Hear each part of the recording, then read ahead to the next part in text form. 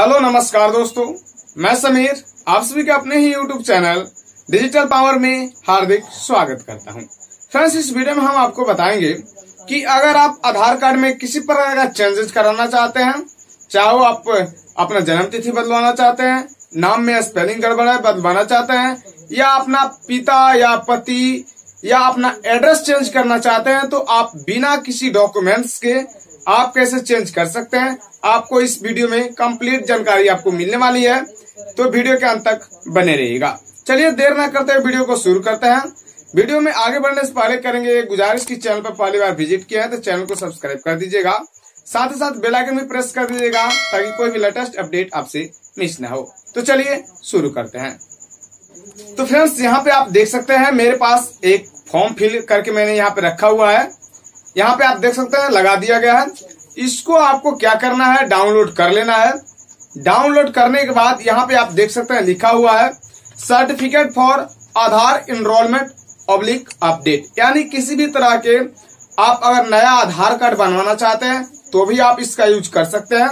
या आप किसी प्रकार के अपडेट करना चाहते हैं, चाहे वो आपका मोबाइल नंबर हो, चाहे आपका वो आपका एड्रेस हो या पिता के जगह पे आपको पति का नाम ऐड कराना हो या आपका जो डेट ऑफ़ बर्थ हो, उसमें भी अगर गड़बड़ी है तो आप सिंपल सा इस फॉर्मेट से आप उसको कर सकते हैं।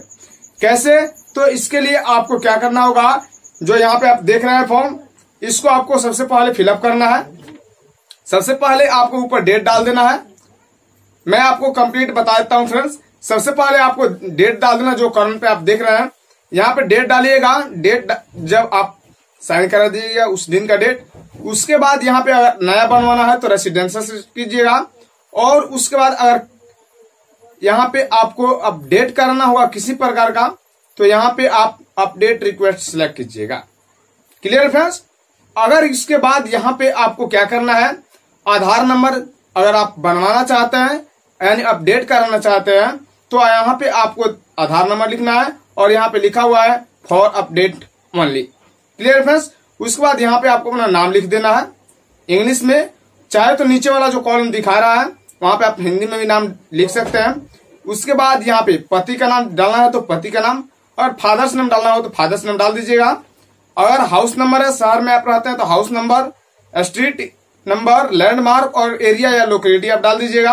अगर ग्रामीण इलाके में रहते हैं तो आप विलेज टाउन या सिटी डालिएगा। उसके बाद पोस्ट ऑफ़िस, डिस्ट्रिक्ट, स्टेट। आपको पूरा फिल कर लेना है। और उसके बाद यहाँ पे जो एरिया पिन कोड होगा वो आप डाल दीजिएगा। डेट ऑफ़ बर्थ भी आपको मेंशन करना होगा। ठीक है फ्रेंड्स अगर आप अपडेट करना चाहते हैं उस कंडीशन में डेट ऑफ़ बर्थ या नया भी बनवाना चाहते हैं तो भी इतना डिटेल्स आपको फिल करना होगा। सिर्फ़ और सिर्फ़ आधार अपडेट अगर नहीं करा रहे हैं, उस कंडीशन में अगर नया बनवा रहे हैं तो आपको आधार नंबर नहीं भरना है। ठीक है? उसके बाद यहाँ पे आपको जो दिख रहा है, यहाँ पे signature of the residential oblique thumb या सिग्नेचर इम्प्रेस इम्प्रेशन तो यहाँ पे सॉरी फ्रेंड्स फिंगर इम्प्रेशन तो यहाँ पे आपको अपना साइन करना है। साइन करने के बाद यहाँ पे साइड में आपको फ़ोटो लगाना है। फ़ोटो यहाँ पे आपको लगा के देखिएगा फ्रेंड्स फ़ोटो लगा के इस पे क्या करना है? आप यहाँ पे देख सकते हैं, यहाँ पे दिया है gazetted officer A village panchayat head और मुखिया। या यहाँ पे gazetted officer B MP MLA MLC municipal councillor tehsildar head of recognise educational institution या सुप्रिंटेंडेंट या वार्डन या मॉर्टन या हेड ऑफ़ इंस्टीट्यूट या ईपीएफ ऑफिसर यानी किसी भी व्यक्ति जो यहाँ पे दिया हुआ उनसे आपको साइन करा लेना है। जिनका भी साइन कराना है, उनका आपको फ़ोटो पे मोहर उनसे मरवाना है।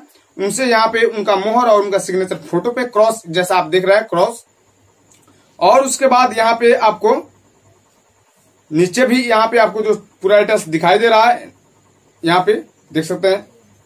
No overwriting issue date of is field residential signature certified details और उसके बाद रेसिडेंट्स का जो फ़ोटो क्रॉस साइन आपका होना चाहिए। और यहाँ पे सिग्नेचर करना है और यहाँ पे करवाना है। इस तरह आप अप्लाई फॉर्म फिलअप कर लीजिएगा। फॉर्म फिलअप करके आपको जो अप्लाई कीजिएगा, वहाँ पे आप सिलेक्ट करके इसका यूज़ कर सकते हैं या किसी आधार सेंटर पे भी आप इसका यूज़ कर सकते हैं। तो आई होप कि आप समझ चुके होंगे कि आपको कैसे करना है। कंप्लीट प्रोसेस मैंने आपको फॉर्म फिलअप करने का बता दिया। इससे आप किसी भी तरह के चेंजेस करा सकते हैं। क्लियर फ्रेंड्स तो फ्रेंड्स ये रहा आज का छोटा सा अपडेट इसी तरह का अपडेट पाने के लिए चैनल को सब्सक्राइब वीडियो को लाइक और अपने दोस्तों के साथ शेयर ज़रूर कर दीजिएगा। मिलते हैं नए अपडेट नए वीडियो नए रिक्रूटमेंट के साथ। तब तक के लिए दीजिए इजाज़त। जय हिंद, वंदे मातरम।